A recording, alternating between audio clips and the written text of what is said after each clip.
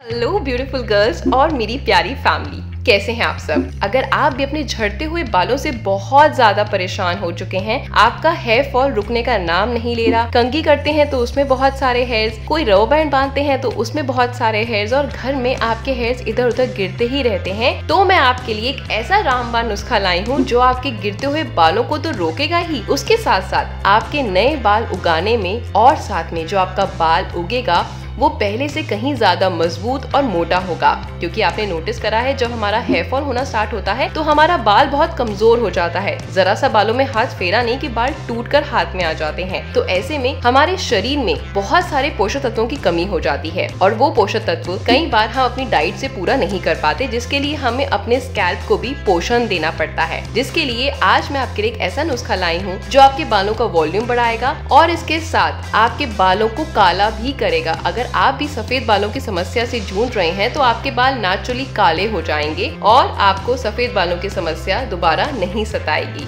तो चलिए जानते हैं इस इफ़ेक्टिव सी रेमेडी को कैसे बनाना है और कैसे इस्तेमाल करना है। लेकिन उससे पहले यहाँ पर कोई भी चीज़ आपको फ्री में नहीं देखने को मिलेगी। इसके लिए आपको फ़ीस पे करनी होगी और फ़ीस क्या है?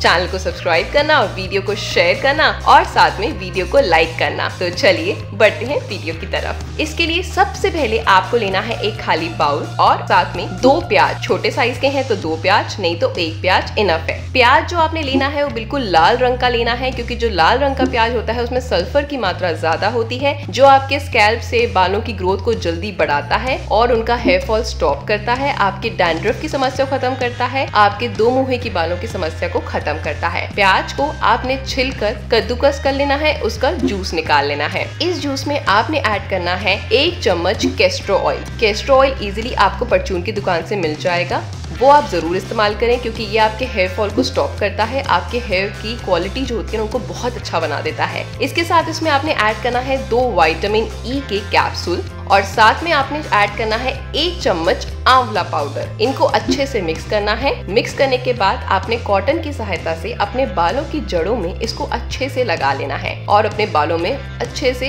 अपने हल्के हाथों से मसाज करनी है। मसाज करने के बाद अपने बालों को आप किसी भी रो बैंड से या क्लचर से सिक्योर कर लीजिए और जो जेंट्स अपने बालों में लगा रहे हैं, उनके बाल तो ऑलरेडी छोटे होते हैं तो उनको रो बैंड की ज़रूरत नहीं। ठीक है? क्योंकि मेरा ये रेमेडी बॉयज़ भी लगा सकते हैं गर्ल्स भी लगा सकती है और अगर आपकी बच्ची दस बारह साल की है और आप चाहते हैं कि उसका बाल बहुत अच्छा और मोटा हो जाए तो आप अपने बच्चों को भी ये रेमेडी लगा सकते हैं। लेकिन अब बारी आती है कितने टाइमिंग के लिए लगाना है, ठीक है? अगर आपकी एज 18 साल की है या उससे कम है तो आपको 15 मिनट के लिए इनफ है। लेकिन 18 साल के बाद हमारी जो स्किन होती है, थोड़ी सी हार्श हो जाती है। तो उसके बाद हमें क्या करना है, इस मास्क को अपने बालों में आधे घंटे के लिए लगाना है, लेकिन आधे घंटे से ज़्यादा नहीं, ठीक है? मानती हूँ थोड़ी सी स्मेल आएगी, कोई प्रॉब्लम नहीं। जिस दिन आप घर पर हो, उस दिन इस मास्क को अप्लाई करें। अब बारी आती है हफ़्ते में कितनी बार इसको इस्तेमाल करें? हफ़्ते में दो बार इस मास्क को लगाए। लगाने के आधे घंटे बाद आप अपना नॉर्मल शैम्पू और कंडीशनर कर सकते हैं। लेकिन इस जादुई पैक को आपको कम से कम हफ़्ते में दो बार ज़रूर लगाना है, इससे ज़्यादा बिल्कुल नहीं। और एक महीना,